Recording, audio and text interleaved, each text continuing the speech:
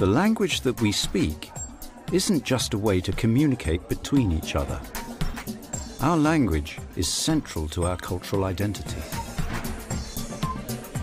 It's vitally important that every country can create their own film and television in their own language, and that this can be shared with others around the world. Not speaking the language of a film shouldn't stop an audience from enjoying it.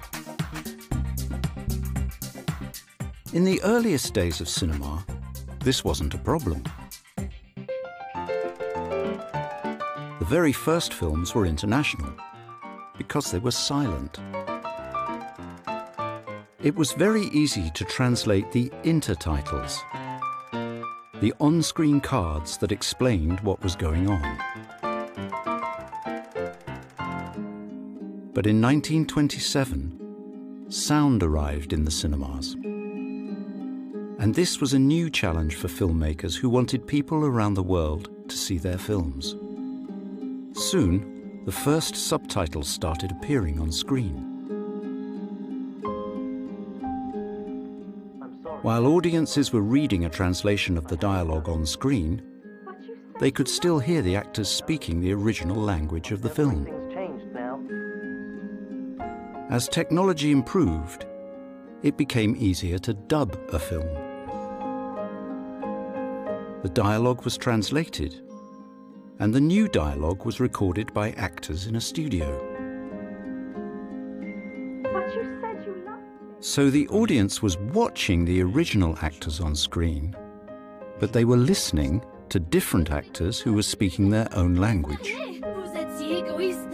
Dubbing soon became common for foreign language films and television shown in countries like France, Italy, and Spain and it is still very common today.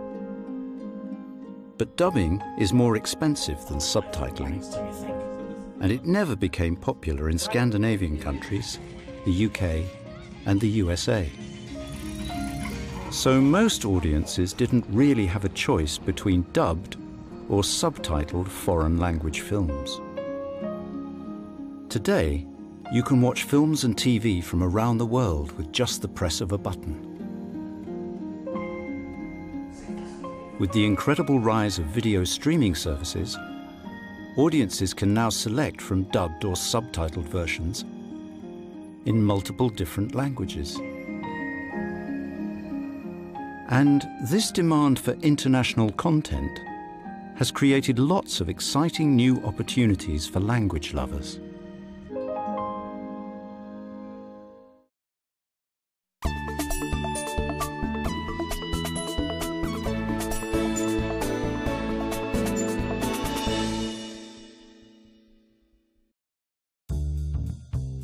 This is BTI Studios in London.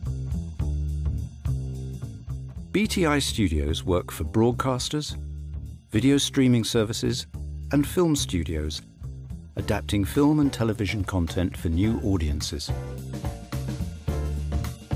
They translate, subtitle, and dub content for audiences all over the world.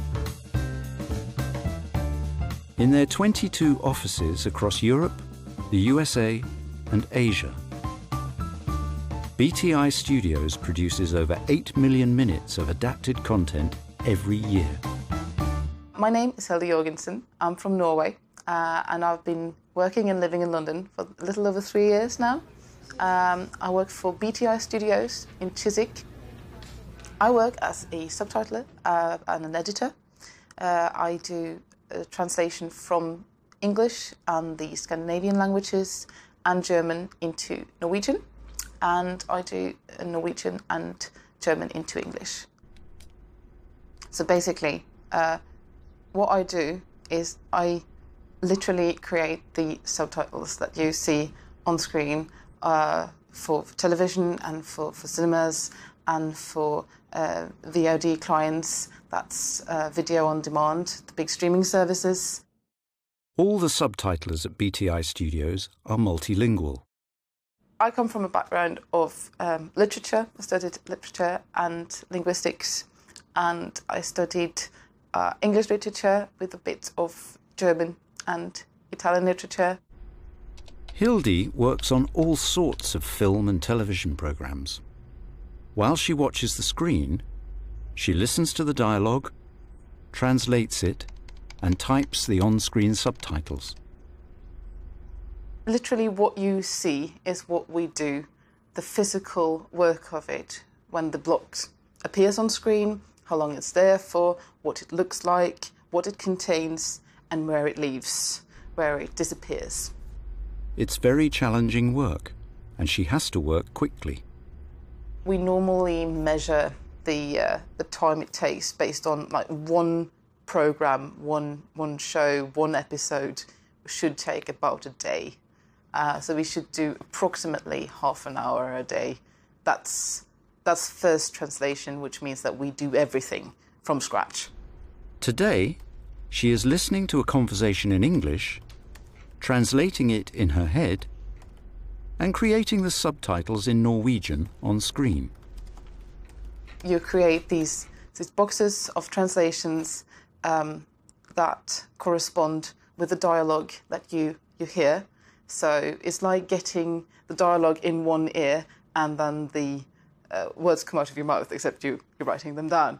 And so you have to be able to think in two languages simultaneously. The biggest problems are time and space. There isn't very much room on screen for text. And people haven't got very long to read the subtitles. So sometimes it's difficult to accurately translate the dialogue into short sentences and you have to um, condense the language a lot. You have to shorten sentences, shorten long speeches in order to make them fit into these small boxes that are on screen for only a few seconds.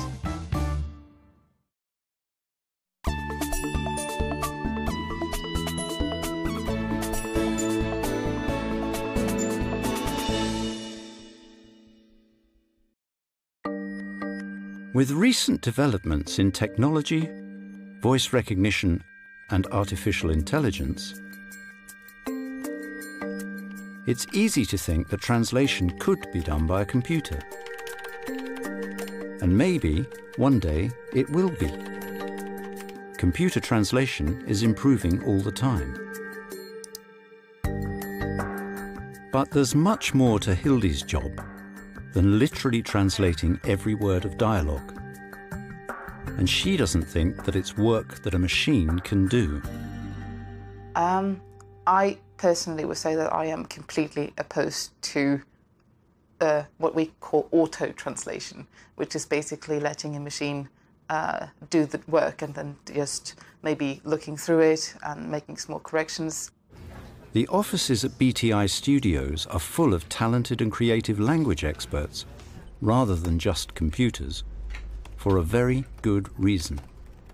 You can't train a machine to understand poetry and sense of humour and uh, understand um, to read between the lines.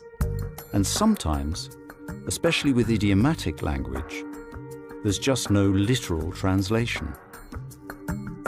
And then Hildy needs to use her knowledge and experience to try to find the best possible translation.